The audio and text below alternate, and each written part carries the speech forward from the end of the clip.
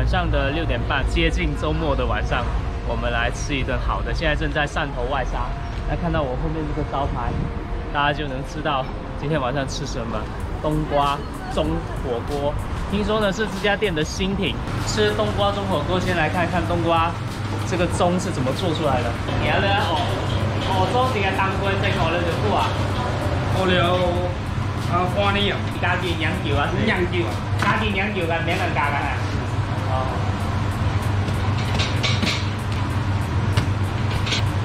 较有讲究，那就做一就好吧。做啊，自家就伊了感觉自家咱后台创力，我大啲嘅麻笋。我丢一点空间，我可以创力啊，我只有我的叫创。这个切好了，确实是差不多有四斤重啊，这个还是挺沉的。切好的冬瓜盅，今晚吃的就是这个。哎呀，哦，我汤牛仔有落物件啊。香根，香香。香根，新香的香吗？香。哦，杏香还香。我以为是鲜根跟鲜片。你好未啊？食了有那个补的，再来那个。好吧。你可以加加几米米食呗？二百六十八的套餐。蟹柳、生蚝、豆干、虾、鱼丸、豆腐鱼、鸭肉、猪肚、肉卷、花甲，五个鲍鱼，三样加料啊！刚刚讲料，先喝口它冬瓜中的汤。它这个冬瓜中的火锅汤底真的很甜的啊，各种食材融合在一起，所以这个汤我们刚喝的时候是非常非常甜的。整一个火锅最大的亮点是在这里。我们现在来试一下它这个鲍鱼，它的鲍鱼呢是切片的。这整一碟呢是总共有五个鲍鱼的。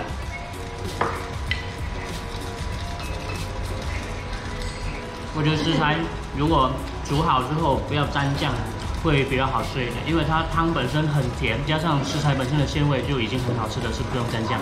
来试一下它的鸭肉，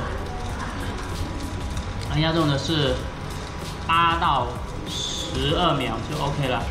它这个锅是很深的，你看。就我们看着这个是不是竹签非常的长，其实整个整条虾是放得下去的。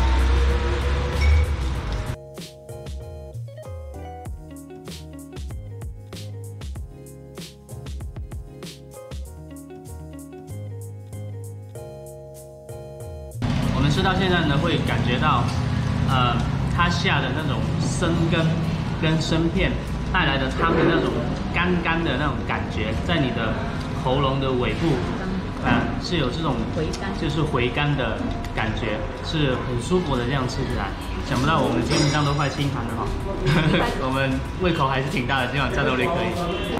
因为一整碗煮下来，这个冬瓜肉已经煮得非常软绵了，吃到最后就开始吃冬瓜。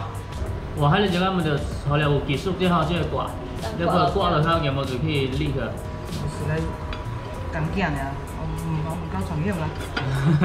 头家干嘛啦？囝生咯。哦，那你无结婚？我们是兄弟，不说这些。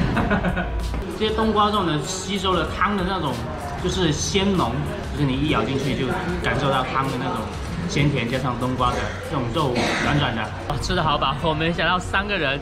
居然把这整个套餐全部清盘了。我观察了店里面其他的顾客点的套餐其实不一样，除了我们刚吃那种冬瓜鸭，还有石锅鱼以及莲藕鸭。这个套餐呢，我感觉在珠三角会比较多的。汕头这边是第一家，大家如果感兴趣，自己可以过来这边品尝一下。这边是汕头的外餐。